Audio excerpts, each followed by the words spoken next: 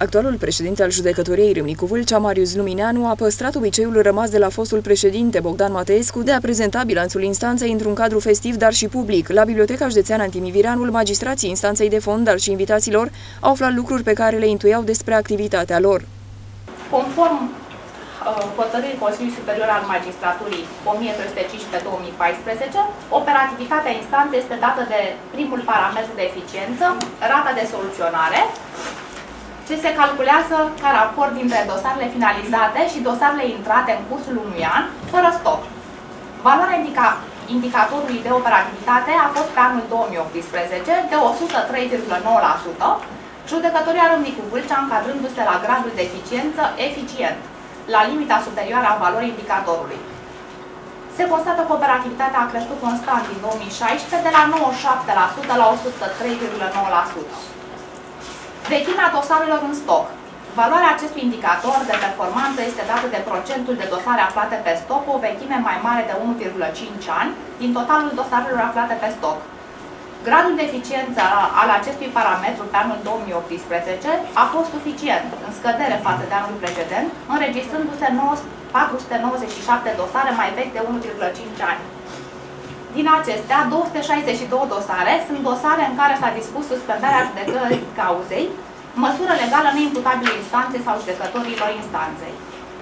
Și în acest an se pare că trendul este un ascendent. Am crescut la capitolul operativitate, undeva de la suficient în urmă cu, cu 2 ani, la eficient în 2017 și de asemenea la eficient și în acest an, sensibil, de la 100 3,3 la 103,9. E un lucru bun, suntem undeva 104 la, la limita de, de foarte eficient. Foarte eficient ar fi între 105 și 110, pentru că să facem un raport între dosarele soluționate și doar cele nou intrate, nu se are vedere și stocuri. Este, este foarte bine că se întâmplă așa. E adevărat că nu trebuie să repete singurul cel operativitatea, nu trebuie să repete singurul cel în detrimentul unei probațiuni temeinice. Dar în aceste condiții, noi, noi am atins acest parametru de eficiență la limita de, de foarte eficient. Reprezentantul Curții de Apel Pitești, prezent și el la bilanț, a vorbit despre succese, dar și despre problemele cu care se confruntă instanțele de judecată. Eu când am intrat în magistratură am întâlnit la judecătoria Pitești judecători cu experiență. Nu erau numai tineri sau numai judecători cu, cu o vârstă profesională mai înaintată. Am avut de unde învăța. De asemenea, am avut de învățat de la avocați. Un corp de avocați deosebit, atât la Baroul Arge, cât și la Baroul Dulcea și vreau să o salut și pe doamna decan. Pentru mine rămâneți decan, știți că eu respect funcțiile și uh, profesionalismul, dar ce să vă spun, sunt judecătorii care nu numai că nu mai întâlnesc acest echilibru, acest protocol, rămân într-un judecător. Și o să revin în partea următoare și la acestea. Din punct de vedere al instanțelor roșii, portocalii, eu cred că formulele astea nu sunt benefice. Păi la cât se lucrează la judecătoriile din uh, raza Curții de Apel uh, Pitești uh, și uh, Vâlcea și la noi, ar trebui să fie numai foarte bine.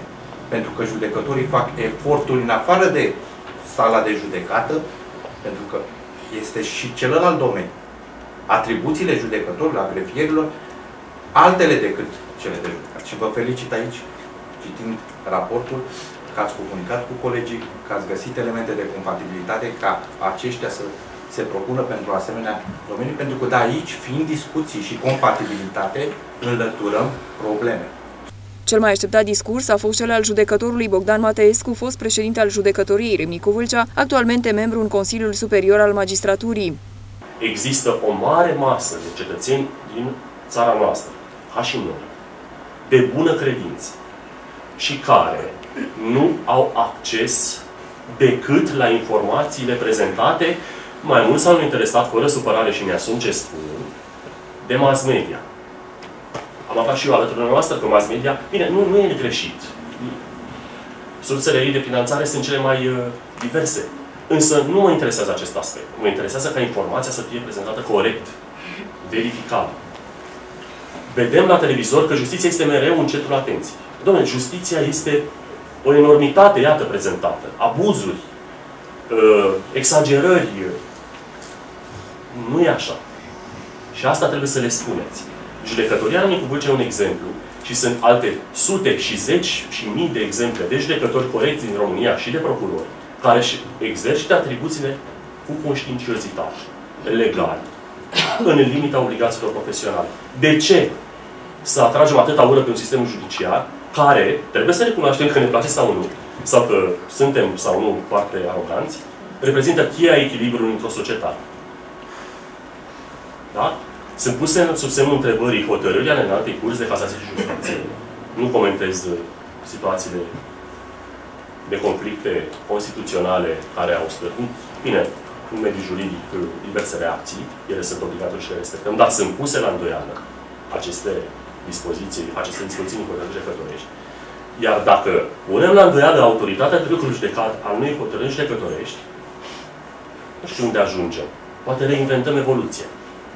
Pentru că statul a evoluat pe ideea echilibrului între trei puteri, indiferent că îi place uneia sau alteia sau nu. Acest lucru trebuie respectat pentru a respecta ideea de stat și nu pentru vreun favor propriu.